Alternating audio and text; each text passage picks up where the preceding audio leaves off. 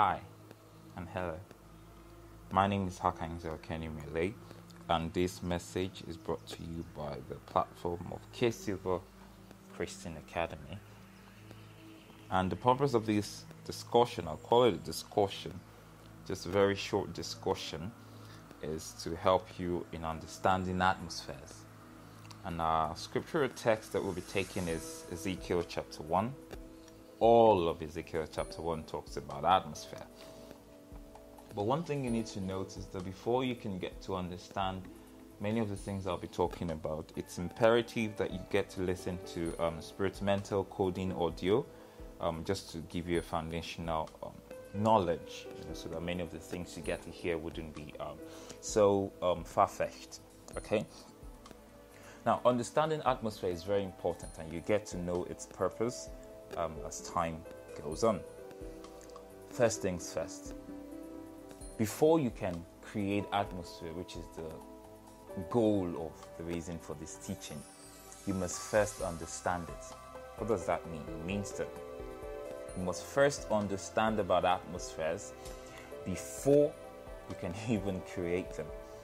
Okay, and from the start of Ezekiel, we can see that it's all about atmospheric nomenclatures and it's all about experiences. The first chapter of Ezekiel started pretty much on a very fast paced, thrilling sense, in a way it's more of actions, you know, and it's quite interesting, I must confess. But beyond all the mysteries and all of the things shrouded in it, it's important for you to understand why what happened happened and how what happened happened. This is really when you begin to understand and learn the, the protocols of understanding atmospheres. Usually, atmosphere is referred to as air, as expanse, as an arc, as a firmament, etc. There are lots of other um, terms that people use to describe what atmospheres are. Okay, now atmospheres have what we call membranes. Okay, some people call them the limit, and it's um its boundaries. This gives its boundary, the end of it. It's just like the membrane of a cell, you know, that limits them and as well as gives them form and boundary, just like blood cells. There is a membrane that tells you, okay, this is how far the cell goes. Now I'll be listing three things initially. I think they go all the way to 11 things, but I'll start with the first one. Now, this is a progression to help you in understanding about atmospheres, and the goal is, as I've said, to help you to know how to create atmospheres yourself. The first thing we got to encounter there was the Heba River, C H E B A R, is Heba River, Hebar River. Um, and the river obviously contains water. Now, water is a figment of the lower atmosphere. If you can recall in the book of Genesis, it talks about um, waters being separated from the waters, and some other part that talks about we have waters above and we have waters beneath. Okay, what this means is that we have a higher atmosphere and we have a lower atmosphere. You can get that reference from um, Genesis chapter 1, verse 6 to 7. So the first thing is the Kebar River. It talks about the lower atmosphere. Okay, that's water. The second thing that unfolded to us was worthy of note. It said that the heavens were opened. It means at a certain time the heavens were closed. Okay, we need to know and we need to understand how this happens.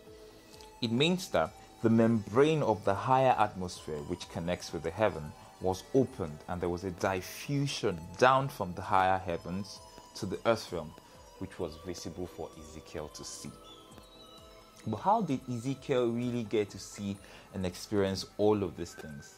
The third point I'm going to be mentioning to you simplifies it out.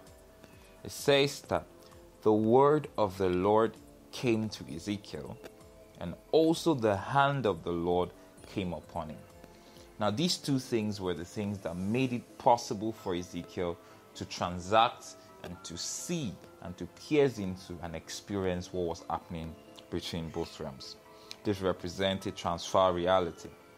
Without that connection of the word and the hand of the Lord, it may be difficult to get what's happening across the realms. Ezekiel wouldn't really get to know what's happening. And what does that mean? Means that many of the times, lots of things are happening around us based on the atmosphere around us. But because we do not have a word for it, neither do we have a hand or empowerment for it, we are um, oblivious of what's happening. The fourth thing that encountered us is there was a whirlwind. This was the first thing, physical thing that we began to see. A whirlwind from the north. That um, um, that pointer, that north, is very important. We'll get to that um, sometime later. Now, whirlwind is constituted of air and earth. It's just like a tornado. There is air and there is earth particles in it. These are the constituents of the whirlwind. Also mentioned with that whirlwind were what we saw as great clouds. Now, great cloud talks about the waters above. Remember, we talked about waters above and waters beneath. We talked about the waters above and air. So the great cloud is a constituent of, is a combination rather, of waters above and air. You need to note these things down. Then there was fire and brightness, which is fire and light. Then at the end of it, we got to understand that there was a coloration involved in it, which is um, amber, the amber color. We need to note these things. Now, all these whirlwinds, all the things mentioned in number four here, are constituents of an atmosphere. An atmosphere for what was mentioned in the next verse, you know, in, in the scripture. We also need to recall that atmospheres usually come before the seed. I'll make you understand that. Without an atmosphere, there is no life. It means that nothing can actually come to life, nothing can be experienced if there is not an atmosphere. That means for something bad to happen, a bad atmosphere must have been nurtured or created. And for something good to happen, you must have recreated the atmosphere to allow the good to happen. Okay, now we need to notice that all the things I've mentioned so far are in the earth membrane. That's where they happened. Okay, because Ezekiel saw them on the earth. Now, the fifth thing is later on, some things permeated into the earth. They are called beings, and there were four in number. Now, without that particular atmosphere on earth, the beings would never have showed up. The whirlwind, you know, the coloring, the great clouds, and all of that. Because that was the atmosphere that enabled the beings to manifest themselves. Now, these beings themselves came with their own atmosphere. Okay, there was fire and there was lightning. You know, in verse 12 and 13 of Ezekiel chapter 1, we were, um, we were, we were brought into speed with um, all of that. Now, these beans looked like or had the color of what we call burned brass. Color is very important. I'm going to talk about it later on. Okay, Number five, after that is later on it was mentioned that the spirit, the spirit is a Hebrew word that means ruach, R U A C H, and ruach could also mean wind or breath. Now it says that the ruach controlled the beings. That means there's something that influences the beings. Now, wherever the ruach goes, the beings follow too. So it means that there is a line of connection between the ruach and the beings. But it doesn't stop there. The sixth thing worthy of note is that after these beings came, there was a product of their intersection with the earth realm. It produced what we knew to be a wheel. Okay, now the wheel had something that is very similar to the beans. The beans themselves had eyes all around their wings, and the wheel itself also had eyes all around it. The wheel also had a color.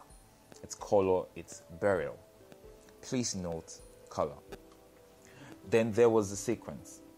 This ruach moved the beans, and the beans moved the wheel. Why? Because the spirit of the beings was in the wheel. So that means there is a connection between the ruach and the beings, and there is a connection between the being and the wheel. Okay, they shared the same atmosphere and coding as a result.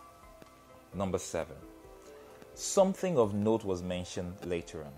It says that over the head of the beings, over the head of the beings. Now, this demarcated the membrane of the beings. It means the beings also had a limitation or definition or boundary.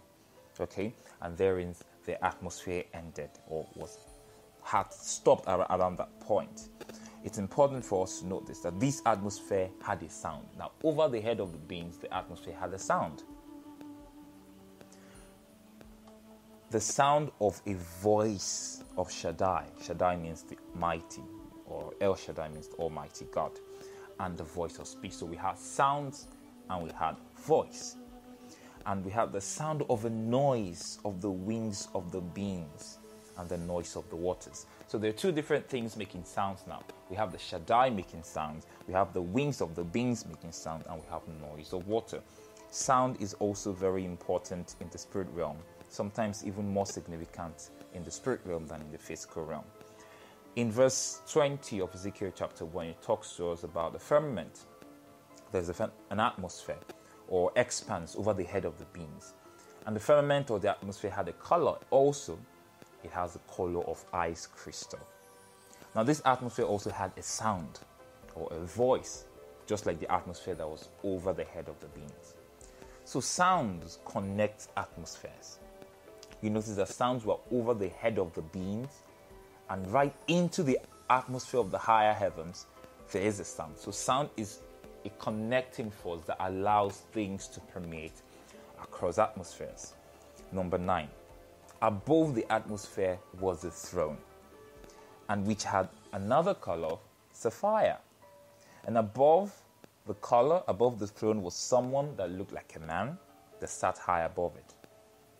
Now, it was also made us, we also made to understand that that person that looked like a man had an atmosphere around him on the sapphire throne, and there was a color also, amber, color with fire and brightness. Remember, we talked about fire and brightness in the earth realm.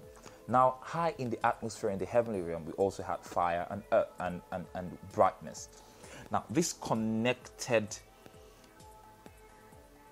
the man like being, just the same way the spirit was connected to the four beings and the beings control. So, there is a connection. We also must look out for that line of connection every time an atmosphere is being formed. And there's something that overwhelms everything. The final thing is glory.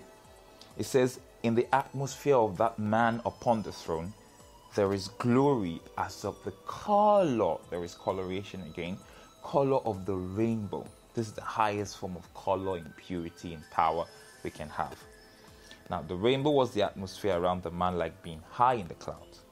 So there's a connection between what is on earth and what's in heaven high above, even though they're not the same thing, but they create a transportation, a communication between both realms. We had thrones in heaven and we had a wheel on earth. We had four beings coming to the earth and we had a being in the heavens. We have whirlwinds upon the earth and we have glory in heaven. We have sounds on the firmament beneath and we have sounds of the firmament above. There were colors, sounds, and light in both atmosphere. Everything was made possible by the word and the hand of the Lord that came upon Ezekiel before the story even started. This is a very important information about creating atmosphere. But we will not talk about creating atmospheres today. We just need to understand them. What does that mean? it means that you need to take time to listen to this again. And more importantly, listen as you read the book of Ezekiel, chapter 1. This will help open up the scriptures to you, and the creation and understanding of atmospheres begin to open to you. All right, then. This is how much we can take on today's segment of understanding atmospheres. The next episode is going to be on creating atmosphere, and I will tell you and teach you how to intentionally and practically create an atmosphere around you. So the next time I hear from you or you hear from me, I'd always say this. May you always walk in the face of the Lord. And I'll end with this unleashing Soteria, Lambano Soteria. My name is Harkheindzel Kenny Mele. I'm the spirit mentalist, and I wish you a happy life. Have a great day.